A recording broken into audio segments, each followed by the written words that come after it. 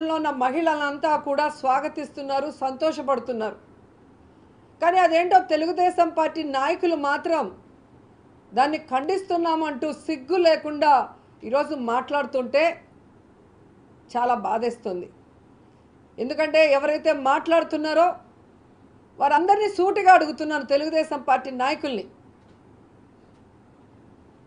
గంటా గారు కానీ అయ్యన్న పాత్రుడు కానీ ఈరోజు ట్వీట్లో ఆయనకి సపోర్ట్ చేసిన లోకేష్ని కానీ డైరెక్ట్గా నేను అడుగుతున్నా మీ ఇంట్లో కూడా మీ తల్లులు ఉన్నారు మీ భార్యలు ఉన్నారు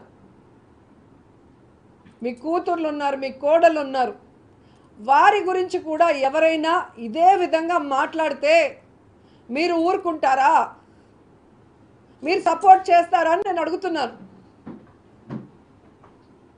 ఏదైనా మాట్లాడితే సినిమా వాళ్ళు సినిమా వాళ్ళు మీ పార్టీ పెట్టింది ఎవడు? మీ పార్టీ పెట్టింది ఎవరు? మా ఎన్టీఆర్ గారు. ఆ ఎన్టీఆర్ గారు పెట్టిన పార్టీలో ఉంటూ సినిమా వాళ్ళని చులకనగా మాట్లాడటం ఈరోజు కాదు.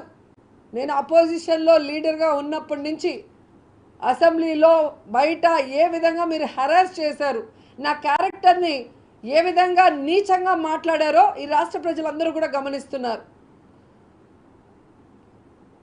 ఈరోజు ఓపిక్గా ఓపిక్గా ఉంటుంటే రోజు రోజుకి శృతి మించిపోతోంది. ఏ మీ ఇంట్లో ఉన్న ఆడవాళ్ళు మాత్రమే ఆడోళ్ళ? వైఎస్ఆర్ కాంగ్రెస్ పార్టీలో ఉన్న ఆడవాళ్ళు ఆడవాళ్ళు కాదా? మాకు మనసు లేదు మాకు ఫ్యామిలీ లేదు మాకు పిల్లలు లేరా? మీరు ఏది మాట్లాడినా అందరూ అడ్జస్ట్ అయ్యి ముందుకు వెళ్ళిపోవాలా ఏం మాట్లాడుతున్నావు?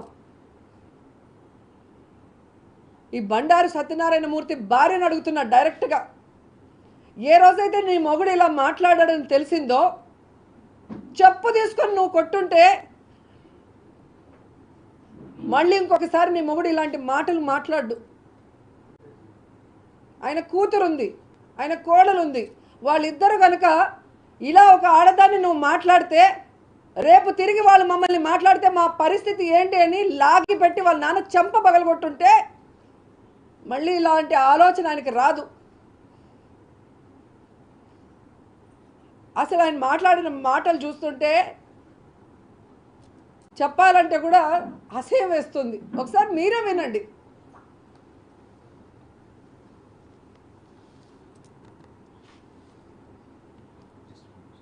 నేను రోజా నీ బతుకు ఎవరికి తెలదు? బ్లూ ఫిల్మ్లో యాక్ట్ చేసిందా నువ్వు? ఇప్పుడు మన దగ్గర ఉన్నాయి. నీ బతుకు బయలు పెట్టకూడదని నీ ప్రూఫ్లు మా దగ్గర ఉన్నా ఎప్పుడు మీరు రిలీజ్ చేయలేదు. అడుగుతున్నాను తొంభై ఎనిమిది తొంభై ఎనిమిదిలో మిరియాలగూడ ఎలక్షన్స్కి తెలుగుదేశం పార్టీ ప్రచారానికి వచ్చి నువ్వు ఎవడింటో పడుకున్నావు? నేను అక్కడ ఉన్నాను వేళ. యాజ్ ఎ ప్లానింగ్ బోర్డ్ చైర్మన్గా. ఎందుకు వచ్చావు? అవి మా పార్టీ మనిషి కావు. అప్పుడు యాక్టరే. ఎవరితో వచ్చావు? చెప్పంటావా నువ్వు ఏ గెస్ట్ హౌస్లో ఉన్నావా రోజా? నీ బతుకు ఇప్పమంటావా? చెప్పలేక కాదు. నాకు ఆడపిల్లన్నారు నాకు ఆడ ఆడ సీన్ అంటే గౌరవించాను. రికార్డ్ డ్యాన్స్ చేసుకునే నువ్వు నువ్వు ఫిల్మ్లో యాక్ట్ చేసే నువ్వు కిరాయికి వెళ్ళిందని నువ్వు ఈ అదృష్టం బాగుండి వేళ మంత్రి అయిపోతే ఈవేళ ఇష్టాచారంగా ఎన్టీ రామారావు కుటుంబం మీద వాడు వీడు అది ఇది మాట్లాడతావా? నీ బతికేమిటి ఎన్ని భూఫిలం తీయాలి ఎంతమందితో నువ్వు కాపురాలు చేసావు? ఎన్ని లాడ్జీల్లో పడుకున్నావు?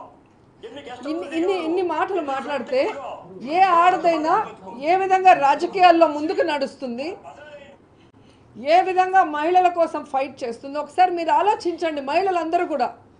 సిగ్గు లేకుండా ఈరోజు